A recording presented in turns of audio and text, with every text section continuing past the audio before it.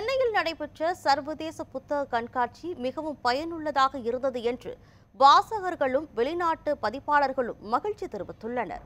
இது தொடர்பாக அவர்கள் தெரிவித்த கருத்துக்களை தற்போது பார்க்கலாம். நான் அடையார்லேருந்து வர்றேன். முதல் முறையாக வந்து இன்டர்நேஷ்னல் புக் ஃபேர் நடக்கிறது ரொம்ப சந்தோஷமாக இருக்குது இதில் ஜப்பானீஸ் கனடா பல நாடுகளைச் சேர்ந்த புத்தகங்களை வந்து இன்னைக்கு எங்களால் பார்க்க முடிஞ்சிச்சு. டிரான்ஸ்லேட்டர் வந்து நிறைய விஷயங்களை டிரான்ஸ்லேட் பண்ணி சொல்லும்போது அந்த கண்ட்ரியை பற்றியும் அந்த புக்ஸை பற்றியும் நிறைய விஷயங்கள் வந்து தெரிஞ்சுக்கிற மாதிரி இருந்தது. முக்கியமாக வந்து இதுக்கு திருக்குறளில் வந்து திருக்குறளுக்கு வந்து ரொம்ப இம்பார்ட்டன்ஸ் கொடுத்துருக்காங்க. நூறு குறள்களை வந்து ஒரு புத்தகத்தில் அச்சிட்டு அந்த ஒவ்வொரு குறளுக்கும் நூறு மொழிகளில் வந்து மொழிபெயர்ப்பு செஞ்சுருக்காங்க. இது ரொம்ப மிகவும் சிறப்பானது. இதனால திருக்குறள் பற்றி உலக நாடுகளுக்கு வந்து இன்னும் தெரியறதுக்கு வந்து ஒரு அவேர்னஸ் கிடைக்கும்.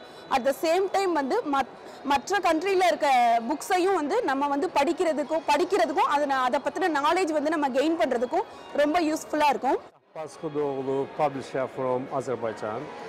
Uh, it is first time I am here. Uh, I like this book fair very much. It is perfect, excellent. I hope that this international uh, book fair uh, will help us to um, to build good communication each other. And as as Azerbaijani publisher, I will try to publish a lot of books from Tamil uh, writers. Uh, and of course, I want that Azerbaijani writer became readable here um, uh, in, in Tamil language.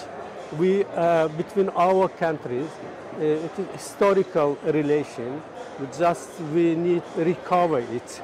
Uh, and uh, book, book in, uh, reading now it is very important everywhere.